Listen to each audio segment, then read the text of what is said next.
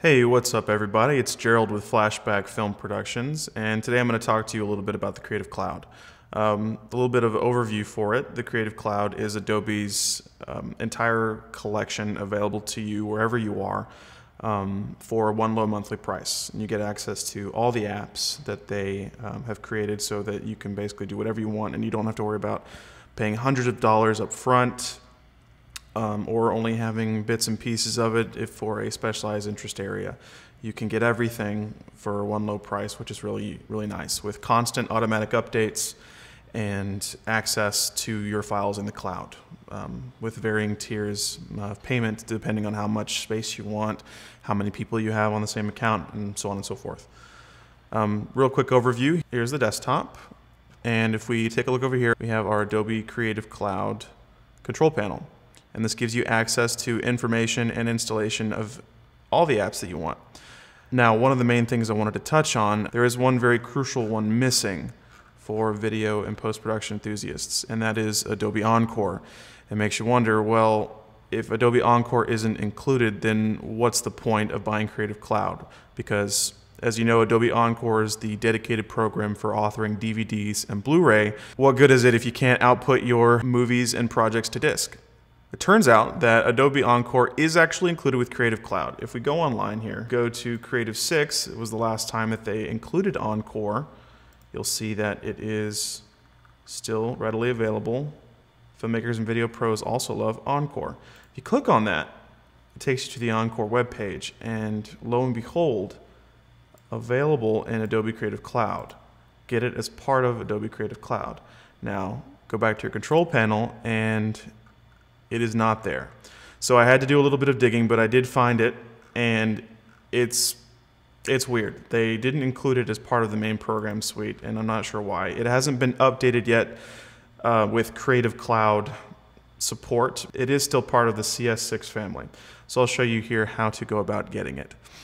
Um, what you can do is log into your account. In this case, here we are. I'll go to my Adobe, find your Adobe Creative Cloud uh, once you're online, and go to the Download Center. Download Center will give you access to all of them. Once again, Encore isn't in here. So here's how we dig for it. What you have to do is go to Premiere Pro. What they have done is actually packaged Encore in the Premiere Pro family, but not Premiere Pro CC.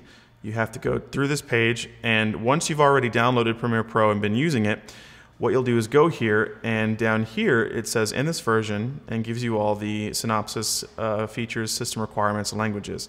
What you'll do is click on Adobe Premiere Pro CC, click Adobe Premiere Pro CS6. Once you have changed and it says now here download Adobe Premiere Pro CS6, you click that and it will begin to download here in your Creative Cloud control panel. And you'll notice here I've got Adobe Premiere Pro CC as well as Adobe Premiere Pro CS6 family. Now here's what the change is.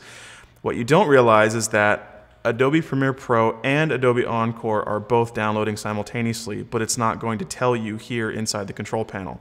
But once it's done and installed and everything is up to date, all you have to do is go here, go to Applications, and you will notice Adobe Premiere Pro CC, Adobe Premiere Pro CS6, and right where it should be, Adobe Encore CS6.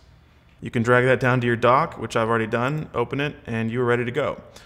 You do still have two versions of Premiere on your computer. That's pretty much just a problem for you if you don't like clutter. You'll still have access to both CC and CS6. Of course, there's no reason to run CS6, so you basically just need to leave it as is, and you don't have to worry about it anymore. You can still use all your other CC programs just as you would, with Adobe Encore, though, they haven't yet updated it, so it's pretty much just staying in the CS6 realm. But that is how you get it onto your computer and how you can use it once purchasing Creative Cloud. You don't have to pay for it again or anything like that. It just requires a little bit of digging. So, anyway, that's it for today. Hope you enjoyed it. Hope it makes it a little bit easier. Don't freak out if you can't find Encore. It's really simple and easy to find. All right, take care.